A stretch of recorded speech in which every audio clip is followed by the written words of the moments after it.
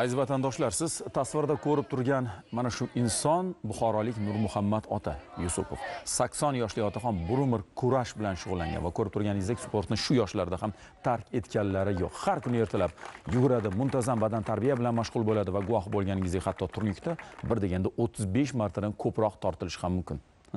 Kim ham mana shunday peru badavlat yoshda sog'lom bo'lib yurishni istamaydi deysiz. Mana shunaqa davlatimiz rahbarining sport sport jismoniy tarbiya jismoniy harakat deb jon kuydirishi zamirida aziz vatandoshlar aynan mana shu haqiqat yotibdi. So'nggi besh yilda bir yuz o'n sakkizta yangi sport majmuasi foydalanishga topshirildi va bir yuz o'ntasi rekonstruksiya qilindi. Barcha mahallalardagi yoshlarni sportga jalb etish bo'yicha ilk bor besh bosqichli musobaqalar tashkil etilib aprel may oylarida o'tgan sport bellashuvlarining o'zida uch milliondan ziyod yoshlar qamrab olindi. Ammo bu maqsadga erishdik degani emas albatta. Joriy haftada bu masala yana bir bor oliy darajadagi kun tartibiga qo'yildi. Sportni ommalashtirish iqtidorlarni tayyorlash professional sport uchun mukammal baza yaratish mexanizmi muhokama qilindi. Yangi tizim mas'ullar oldidagi vazifalar infratuzilmaviy imkoniyatlar va kutilayotgan samaralar haqida galdagi sharhimizda so'z boradi. Olis sari osiyoda ulg'ayib dunyo sportini zabt etgan chempionlar tan bergan o'zbekning chinakam bahodiri bahodir jalolov. Dunyo sportida afsonaga aylanib ulgurgan ikkinchi yoshligini boshidan kechirayotgan oksana chusavitsina. Havaskor boksdagi cho'qqilarni zabt etib bugun professional darajada o'z so'zini aytayotgan shahram g'iyosov. Ha chempionlar o'z o'zidan kashf etilmaydi. Qachonki iqtidor intilish qo'llab quvvatlanib ko'z oldingda ajoyib infratuzilma ustozing mehnati mahoratingni toblaydigan musobaqa. Eng asosiysi senga nisbatan e'tibor bo'lsa bolalikning beg'ubor orzulari maqsadga maqsadlar esa real voqelikka aylanadi. Jahon arenalarini zabt etib chempionlik maqomiga erishayotgan ta'bir joiz bo'lsa afsonaga aylanib ulgurgan sportchilarimiz borki ularning shohsupa sari bosib o'tgan yo'lining o'zi minglab yoshlar uchun motivatsiya bo'la oladi endi bunday chempionlarimiz har mahallaning o'z bahodiru shahramlari ulug'beku akbarlari aksanayu zaynablari bo'ladi. Zero mamlakatimizda sportchilarni tayyorlashning mutlaqo yangi tizimiga asos solindi. E'tibor bering joriy yilda 6 million yoshni sportga oshno qilish maqsad qilingan. Bu shunchaki ko'rsatkich emas balki prezident ta'biri bilan aytganda davlat siyosati. Bunday vazifa va uni amalga oshirish mexanizmlari haqida ilk marotaba 1 aprel kuni. Yoshlar o'rtasida ommaviy sportni rivojlantirish chora tadbirlari bo'yicha o'tkazilgan yig'ilishida so'z borgan edi. 10 apreldan boshlab esa 5 bosqichli mamlakat olimpiadasiga start berildi. Unda asli 7 yoshdan 30 yoshgacha mezon belgilangan bo'lsa-da butun aholini jismoniy faollikka chorlaydigan tizim ishga tushdi. To'g'rida mahalla ahli sport maydoni atrofida qizg'in bellashuvda jam bo'lsa siz yoki farzandingiz bunga befarq bo'la oladimi? Davlat rahbarining xayrli tashabbusi natijasi uzoq kuttirmadi. Eng olis mahallalarda ham katta aks sado berdi. Xudoga shukur rahmat prezidentimizga. Sport endi mahallaga tushdi. Nafaqat endi bular sport bilan shug'ullan balki iqtidorli kadrlarni ham biz bemalol topib olishimiz mumkin. Besh tashabbus olimpiadasi boshlangandan keyin ularda o'zgarish bo'ldi. Nafaqat ruhiy kayf balki sog'lik tomonlama ham ularga yordam beryapti. Sport bilan shug'ullangan bola ma'nan yetuk ham sog'lom baquvvat bo'ladi. Asosiy maqsad bo'sh vaqti mazmunli bo'ladi. Mana maktablarimiz ham ta'til boshlandi. Endi ular ta'tilda ham bizani qamrovimiz ko'payadi. Endi biz chekka hududda joylashgan bo'lishimizga qaramasdan bilinmaydi chekka hududda joylashganimiz. Teoriy sport turini muammosiz o'tkazib oldik. Infratuzilmalar hammasi yaxshi. Sharoitlar qilingan. Xudoga shukur mana sport sport bo'limi yordam beryapti. Hozirda viloyatimizda barcha tumanlarda besh tashabbus olimpiadasi qizg'in tarzda ketyapti. Shuning bilan birga bizning ma'rifat mahallasida ham yoshlarni sportga qiziqishi juda ham oshdi. Biza oldindan ko'chama ko'cha keyin mahallamiz bilan chiqib turib tuman bosqichi sektor shahar bosqichlariga yoshlarimizni olib chiqqanimizda do'stlik munosabatlari bir biriga oshdi. Mana masalan boltayev sanjarbek degan yoshimiz bor o'zini jamoasini mahallamizdan shakllantirib hozir do'stlik uchrashuvlarini boshqa mahallalar bilan yo'lga qo'yganmiz. Undan tashqari ularni bo'sh vaqtlari mazmunli o'tyapti. Shu besh tashabbus olimpiadasi sportga qiziqishi bo'lmagan yoshlarni ham o'ziga jamlab olishda katta hissasini qo'shdi deb o'ylayman. Davlat birinchi navbatda yoshlarning sog'lom va baquvvat bo'lishiga harakat qilyapti. Buni ota onalari sezish kerak dedi prezidentimiz 23 may kuni sportni ommalashtirish va iqtidorli sportchilarni tayyorlash chora tadbirlari tahlil qilingan video selektor yig'ilishida. Yoshlarni sportga jalb qilish bo'yicha nimalar qilsak bo'ladiki? Tizim ishlasa ommaviylikni oshirsak sport ta'limini yaxshilasak iqtidorli sportchilarni tayyorlasak mutlaqo boshqacha tizim yaratamiz bolalarimizga sharoit yaratamiz. Davlatni bursin pulni manfaatdorlik nuqtai nazaridan natijadorlik nuqtai nazaridan xalqimiz ota onalar sezsinki davlat yoshlarimizni jismoniy baquvvat bo'lishiga sog'lom bo'lishiga harakat qilyapti. Joriy yilda sport sohasida ikki trillion uch yuz milliard so'm o'n yettinchi yilga nisbatan besh barobar ko'p shundan sport ta'lim muassasalari uchun bir trillion ikki yuz milliard so'm ajratildi. Qaysi tadbir mahalladan boshlasa natija albatta biz kutgandek bo'ladi. Qaysi mahalla natijalarga erishsa o'sha mahallaga birinchilar qatorida biz sport kompleksini qurib beramiz. Mahallaga quramiz. Bu oson emas. Bu juda katta mablag' lekin bunga tayyorgarlik qilyapmiz. Mahallani o'sha yerda kutubxonasi ham bo'ladi. Dam oladigan joyi ham bo'ladi lekin sport bo'yicha hamma sharoitni yaratib beramiz. Davlatimiz rahbari qobiliyatli yigit qizlarni saralab professional sportchilarga aylantirish borasidagi mavjud kamchiliklarni birma bir sanar ekan endi bu borada mutlaqo yangi tizim joriy etilishini e'lon qildi. Hozirgi sportdagi natijalar yaratilgan sharoitlarga hali mos emas sababi sportning eng boshlang'ich tizimi bo'lgan sport maktablari bilan olimpiya zaxiralari kollejlari va oliy sport mahorati maktablari o'rtasida seleksiya borasida uzviy zanjir yo'lga qo'yilmagan. Hamma sohada aytganimdek bu yerga ham ilm kerak innovatsiya kerak bu yerga ham o'qish kerak kitob kerak o'rganish kerak tajriba ortish kerak. Misol uchun respublikadagi mavjud ikki yuz yetmish to'qqizta bolalar va o'smirlar sport maktabining bir yuz to'qsontasida o'ttiz oltita olimpiya sport turidan bor yo'g'i o'ntasi o'rgatiladi. Oqibatda xalqaro musobaqalarda qatnashish uchun davlat barcha tashkiliy va moliyaviy sharoitlar yaratib berganiga qaramasdan osiyo va jahon olimpiya sporti bo'yicha chempionatlarda besh olti nafar sovrindor chiqmoqda xolos. Bugungi kunda oltita oliy sport mahorati maktabi o'ttiz ikkita olimpiya sport federatsiyasi olimpiya zaxiralari kollejlari bilan umuman shug'ullanmagan. Kollejlardagi to'qqiz mingga yaqin sportchilarning yigirma foizi milliy terma jamoaga kira olgan xolos. Vaholanki milliy terma jamoa tarkibini ayni shu kollejlardan chiqqan sportchilar tashkil etish kerak emasmi? Bu masala qaysi viloyat hokimini qiynayapti va qaysi viloyat hokimi o'zini viloyatida namuna qilgan bironta viloyat tuman yoki shahar hokimligi sportning barcha turlari bo'yicha tizimli ishlashni yo'lga qo'ya olgani yo'q hali. Sidney va rio olimpiadalarida shuhrat qozongan andijon buxoro va farg'ona boks maktablari bugungi kunga kelib natija ko'rsatolmayapti o'tgan yili uch yuz ellik ikkita respublika musobaqasi o'tkazilgan bo'lsada bironta hududda tuman bosqichi o'tkazilmagan. Endi sportchilarni tayyorlash va seleksiya qilish bo'yicha mutlaqo yangi tizim joriy qilinadi. Bunda yoshlarni bolalikdanoq sportga jalb qilish va iqtidorli sportchilarni tayyorlash borasida yondoshuvlarimiz mutlaqo o'zgarishi kerak.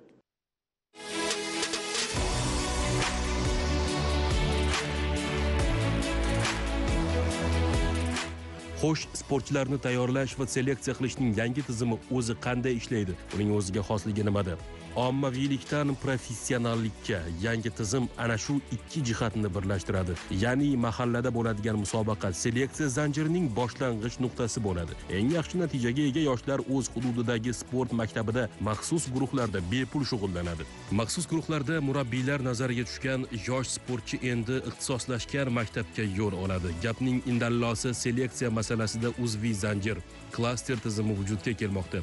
Yangi tizimning o'ziga xosligi ham sportning ommaviyligiga erishish keyin esa professional sport uchun seleksiya qilish yangi nomlarni kashf etish. Geografiya yaxshigina kengaymoqda. Endi yangi chempionlar mahallalarda saralanadi.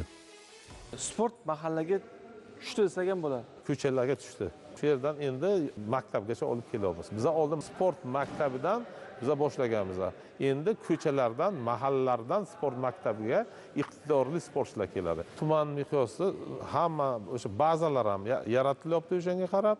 Qiziqish ham karalab oshib ketyapti. Bizaga hozirgi kunga yetti yuzta yangi tizimdan keyin bir ming to'rt yuztaga yetkazamiz xudo xohlasa. Ana shu yoshlarni? yoshlarimizni yoshlarimizni o'sha o'g'il qizlarimizni. Kamida rayon birinchiligiga g'oliblar bizaga kirib keladi.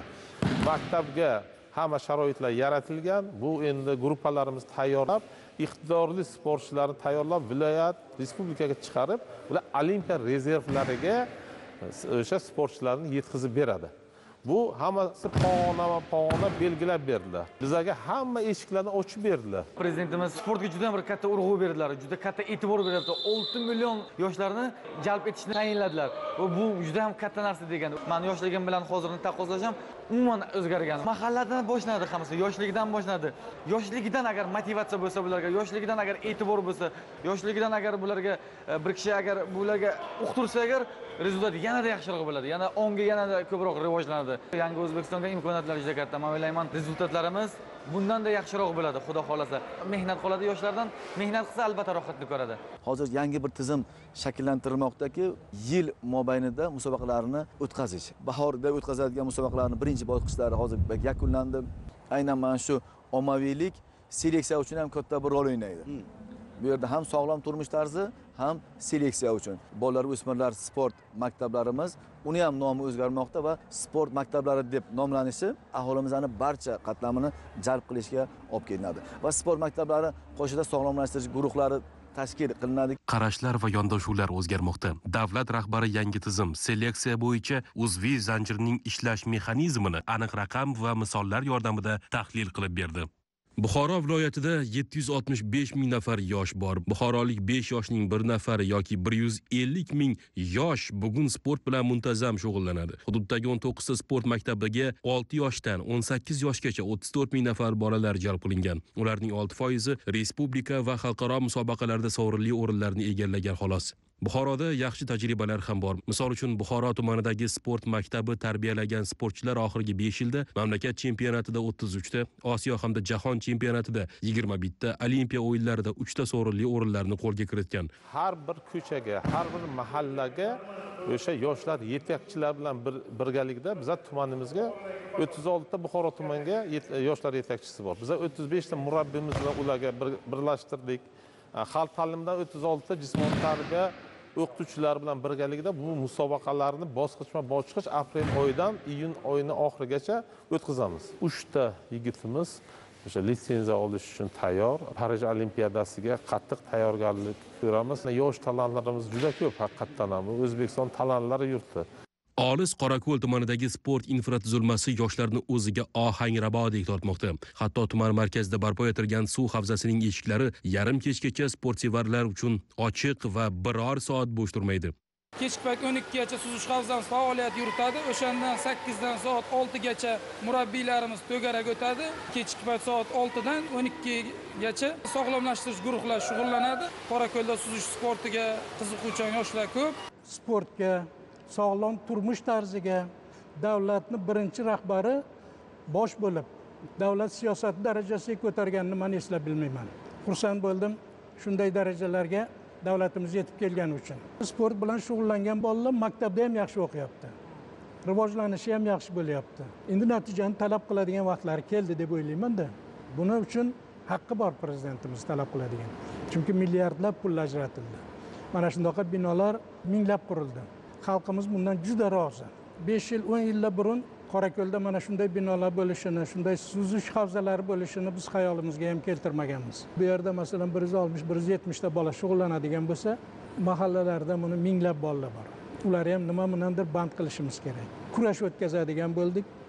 Yigirmata o'ttizta bola bilan boshladik. Oxiriga borib minglab odam to'planib qoldi. Odamlarimizda qiziqish katta. Bunaqa sportlari mahallada ko'p qilyapmiz. Mana shaxmat shashkalar o'ynatyapti tennislarimiz bor.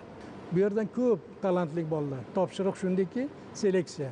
Tanlab olish kerak. Talanti bor bilimi bor kuchi bor. Mahallada uyida qolib ketmasligi kerak. Prezidentimiz maqsadlari shu. Bitta qorako'lda qilinayotgan ishni ko'rib odamlarimizni to'g'risini aytsak hush boshidan ushyapti. Endi bir baxt bizlar uchun to'g'risini aytish kerak. Ko'p takrorladim. Yana takrorlashga tayyorman to'g'risida.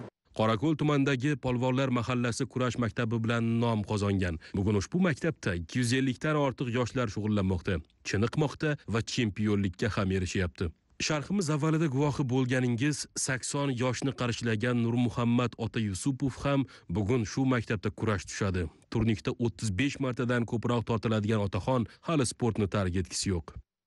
Agar milliy kurashimiz olimpiadaga kirsa baribir kurashamiz hozir shu bolalar bilan ochiqchasiga тренировка qilamiz kurashni ham ochiqchasiga kurashamiz va tabiiy holatda davlatimiz tomonidan sport bilan shug'ullanish uchun hamma sharoit qilib berilyapti u paytda bunday sharoit bo'lmagan davlat rahbari yurt farzandi sog'lom bo'lsin deyapti. Juda to'g'ri qilyaptilar.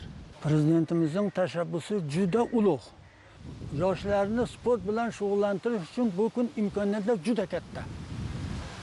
Prezidentimiz sport bilan shug'ullanib sog'liqni garovini yaxshilash ham bilim saviyasini mustahkamlashga yo'l ochib beryaptilar. Sog'liq qancha yaxshi bo'lsa bilim saviyasi shuncha kuchli bo'ladi. Bizning mahallamizda hozir bundayga to'qson foiz yoshlar sport bilan shug'ullanyapti. Mini futbol voleybol mana tennis kort maydonlari stol tennis maydonlari milliy kurash dzyudo kurash hamma turlari bo'yicha shug'ullanyaptilar. Hammasiga sharoit bor. Hammasiga sharoit bor. Bizlarga prezidentimiz juda katta yo'l ochdi. Shu yo'ldan katta katta qadam tashlab ish qilamiz besh tashabbus olimpiadasi yosh sportchilarni kashf qilishda o'ziga xos maydon. Har bir qobiliyatli yigit qiz uchun o'ziga xos imkoniyat. Tahlilni qo'rg'ontepa tumanining eng chekka qismi beshkaltak mahallasi misolida davom ettirsak ilgari ushbu hudud aholisining sport bilan shug'ullanishi uchun birorta maydoncha mavjud emasdi. Mahallada yangi futbol maydoni qurilgach bu yangilik barcha futbol ishqibozlarini bir joyga jamladi. O'ttiz kun ichida yangi jamoa shakllandi va ilk musobaqadayoq uchinchi o'rinni qo'lga kiritib yigirma million so'm miqdoridagi mukofotni qo'lga kiritdi. Tahlillarga ko'ra bugun sport maktablarida 11 ming nafar sport murabbiyi mehnat qilmoqda. Ularni moddiy qo'llab quvvatlash bo'yicha ham yaxshi yangiliklar bor. Eng avvalo har bir trenerning maoshi 35 foizga oshiriladi va bu hali hammasi emas. Endi murabbiy qancha ko'p chempion tayyorlasa uning maoshi ham shuncha baland bo'ladi. Natijadorlik uchun bizaga to'lanadi. Bu nima degani? Sport maktablarida e, o'zbekiston chempioni yo sovrindorlar chiqarsa o'n foiz. Osiyo va osiyo kuboklarini g'olib va sovrindorlari esa qirq foiz. Jahon chempionatlarini sovrindorlarini va chempionlar ellik foiz oyligi har bir sportchisi uchun qo'shiladi. To sport maktab uch yuz baravargacha. Buni hammasini hisoblab chiqsak to'rt milliondan o'n ikki milliongacha oyligi bo'ladi. Bu ham bir tomondan o'sha trenerlarni ishlash uchun motivatsiya bo'ldi. Albatta. Buni ham prezidentimiz aniq ko'rsatib berdilar. Mani maktabimga uch yuz foiz oladigan trenerlarimiz uch yuz foiz. Bu uch yuz foiz degani o'zi o'n ikki million degani. Sportchilardan seleksiya qilib olamiz. Eng tajribali eng ishlaydigan e, kelajagini shu sohaga ko'radigan trenerlarimizni tanlab olamiz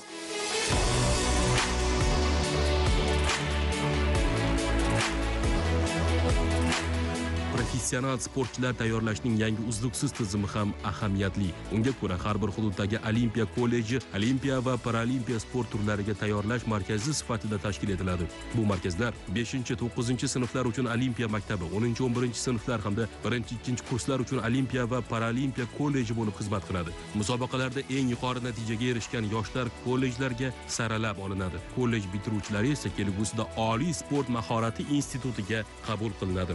Tan olishimiz kerakki masalan respublika musobaqalari e, asosan o'tkazilgan paytda rayon va viloyat musobaqalari o'tkazilmasdan turib to'g'ridan to'g'ri sportchilarni ma'lum bir guruhni murabbiy o'sha to'g'ridan to'g'ri respublika musobaqalariga olib kelavergan lekin bugungi raqamlashtirish tizimiga o'tishni shuni respublika musobaqalari bilan xalqaro musobaqalarga ham olib borilishligi mumkin. Bundan keyingi holatda albatta o'sha musobaqa bayonnomalari qayd etilgan paytda raqamlashtirish tizimiga kiritib boriladi va o'sha musobaqalarga ishtirok etgan sportchilar orasidangina rayon musobaqasini g'oliblari va sovrindorlaridangina viloyatga qatnashishi mumkin.